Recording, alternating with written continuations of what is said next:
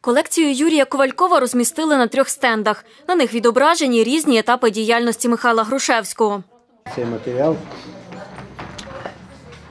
ілюструє його як тристоронню постать, як постать керівника Української Народної Республіки, його свій час називали першим президентом України, як голову наукового товариства Шевченка цієї неформальної академії наук України і військово-політичного громадського діяча. Зображення Грушевського на конвертах з'явилося ще в радянські часи, каже Юрій Ковальков. У його колекції зібрані марки та конверти, які видавалися з 91-го року.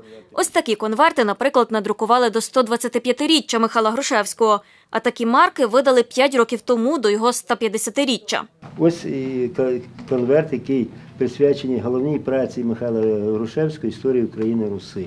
Надзвичайно цікавий конверт першого дня з блоком поштовим. Це державні печатки України. Ось вони відтворюють на марках. Це не, не часто буває, коли методом тиснення відтворені печатки оці доби Української Народної Республіки. Печатка Грушевського, Вениченка і Петлюри.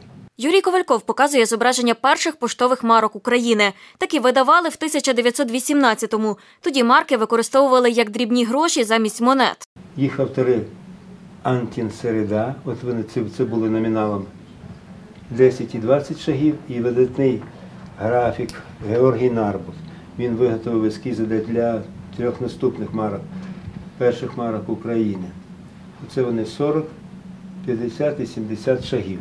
На відкриття виставки прийшли студенти історичного факультету. Юлія Давосир – другокурсниця.